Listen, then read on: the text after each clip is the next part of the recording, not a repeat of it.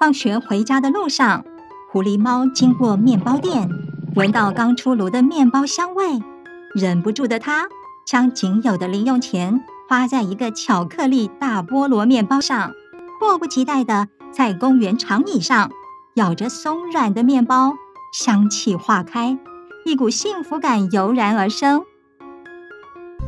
狐狸猫回到家，妈妈在厨房里忙着准备晚餐。正在用豆腐乳炒空心菜，陶锅里是酱油卤五花肉，餐桌上的菜盘里是炸臭豆腐佐泡菜，汤锅内是酸白菜肉片汤，房子内充满食物香气。这些佳肴令狐狸猫垂涎欲滴。晚餐时刻，全家一起享用餐点。狐狸猫的爸爸搭配小米酒用餐。第二天下课时，狐狸猫在学校与小树蛙黎黎、麦麦聊天。昨天超幸福的，下午经过面包店买刚出炉的面包来吃，面包松软好吃。昨天晚餐有炸臭豆腐配泡菜，酱油卤五花肉，豆腐乳炒空心菜，酸白菜肉片汤，美味的不得了。我爸爸还喝了小米酒。这么多美味的食物都是怎么制作出来的？去市场买五花肉、空心菜、肉片等食材回家后，放在锅子里，加酱油、酒、糖、豆腐乳等，炒卤一番就成了。麦麦说的简单，但你们知道，面包、酱油、臭豆腐、泡菜。豆腐乳、酸白菜及酒都是发酵食物，要仰赖微生物的帮忙呢。它们都是透过微生物进行发酵作用制成的。哦微生物跟这些食物有什么关系？什么是发酵？在食品领域，发酵是以有机物为原料，经过特定细菌、酵母菌或霉菌等微生物。利用酵素进行合成与分解作用，产生新物质的过程。例如，酵母菌会将葡萄糖转变成酒精与二氧化碳。我知道，面包是在面粉揉成面团的过程中放入酵母菌，在适当温度环境下放置一段时间，让面团发酵后，就会看到面团膨胀。没错，这是因为。糖类分解后会产生二氧化碳气体，在面团中形成气泡，包覆在面团内，使面团体积膨胀。这就是让面包松软的原因。为什么会有发酵作用？发酵是微生物产生能量的代谢作用。微生物借由酵素把有机物转化而产生能量。以糖为例。糖发酵后，除了产生酒精与二氧化碳外，还会产生提供细胞活动所需的能量。发酵作用好神奇，会让有机物质进行这么大的转变，让面团变成面包。那么，小米酒的酿造是将酵母菌加在小米里发酵产生酒精的吗？这个说法对了一半。人类在文明开始前。就已经发现酒的存在，并利用自然存在的菌种酿酒。要酿酒的话，可使用酒曲或米曲，它们包含多种霉菌与酵母菌。当中的霉菌将小米的淀粉转化成葡萄糖后，酵母菌就可将葡萄糖发酵产出酒精。我跟妈妈一起做过泡菜，要先加入大量盐，再放入瓮里发酵。里面也有小树蛙说的这些微生物吗？对，蔬菜中也有许多菌种，其中有乳酸菌，能转化有机物产生乳酸，所以要在高盐分及低温环境中抑制其他菌种生长，让乳酸菌能大量繁殖。如果环境条件控制不良，坏菌滋生会导致腐败。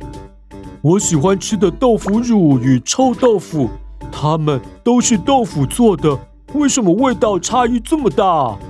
豆腐乳是利用霉菌将豆腐进行发酵。臭豆腐的制成中要先发酵出臭卤水，再将豆腐进入臭卤水中。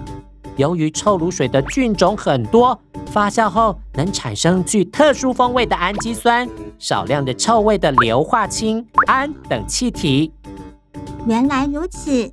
自然环境中存在很多种类的微生物，在食材上运用不同微生物进行发酵作用，让食物产生各种风味，为料理加分。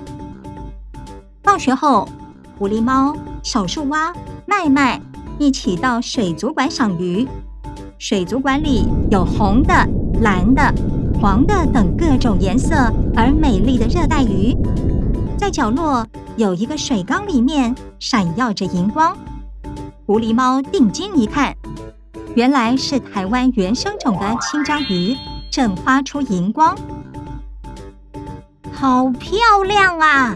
会发光的鱼，但这是台湾原生的青江鱼，怎么能发出绿色荧光呢？哦，我知道，这是基因转殖的荧光鱼。让鱼具有荧光蛋白质而发出荧光。什么是基因转殖？我们之前学过，基因可以控制性状特征。如果将一种生物的一段基因取出，放入另一种生物的细胞中，让这细胞拥有外来生物的基因，就可以表现出该基因控制的性状。以这荧光鱼为例。台湾原生的清江鱼原本不具荧光蛋白质，深海水母具有发荧光的蛋白质。研究员从深海水母中找出产生荧光蛋白质的基因，将这段基因植入鱼的胚胎细胞中。随着胚胎发育，长大成鱼后，清江鱼的细胞能制造荧光蛋白，也就是我们看到的荧光鱼。基因转殖真是好厉害的技术。竟然可以改变生物的性状特征？基因转殖还有应用在其他方面吗？我知道的基因转殖可应用在改良农作物与激素制造，例如自细菌发现的抗病虫害基因转植入农作物体内，让农作物可抵抗病虫害；又例如将人体制造胰岛素的基因转植到细菌内。随着细菌大量繁殖，就可以制造大量的胰岛素来提供糖尿病的病患使用。小树蛙对于生活中微生物的应用与技术懂得很多，哎，很令人佩服。我其实没有你说的那么好，只是我对生物科技很感兴趣。我们今天讨论到所有运用操控生物的方法来提供生物产品，称为生物技术。我很期望能好好充实这方面的背景知识，利用生物技术解决农业及医学上的问题。狐狸猫有个疑问：透过基因转殖技术制造出来的生物，如果回到野外，对生态系会有什么影响呢？最后。狐狸猫整理今天学到的知识：一、发酵食物是运用自然界中多种微生物进行发酵作用而产生；二、可以运用基因转殖技术于农业与医疗，例如农作物改良与制造激素；三、生物技术是运用操控生物的方法来提供生物产品。发酵食物与基因转殖皆属之。最后来想想看，关于发酵作用与基因转殖技术，除了今天所讨论到的例子，还可以运用在哪些例子呢？如果你知道答案的话，欢迎留言。我们下次见喽，拜拜。